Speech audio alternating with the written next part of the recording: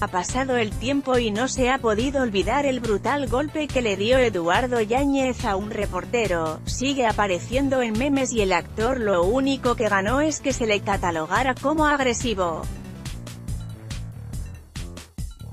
De acuerdo con Grupo Fórmula, hace un año Eduardo Yáñez golpeó al reportero de El Gordo y la Flaca, Paco Fuentes, por cuestionarlo sobre su vida privada. Tras meses de silencio, Yáñez por fin explica el motivo de su violenta reacción.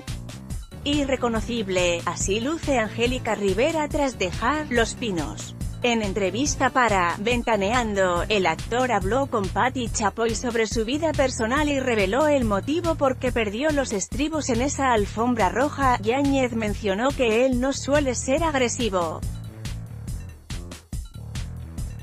Sin embargo, Fuentes lo cuestionó sobre un fuerte momento que estaba viviendo con su hijo y por eso recibió un golpe por parte del histrión de striptease.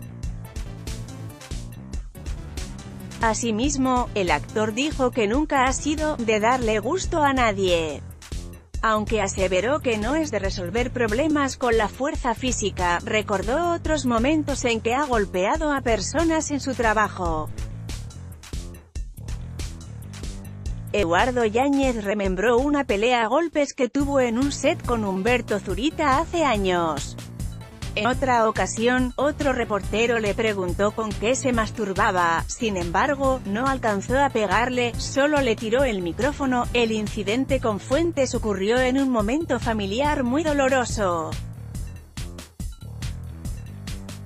Estaba roto mi hogar. Este cuate no iba a venir a jugar con esto de ninguna manera. Ni él ni nadie, puntualizó Yáñez. Ve aquí la explicación sobre el incidente con el corresponsal de El Gordo y la Flaca, afirman que Claudia Lizaldi dejó a su esposo por pedófilo.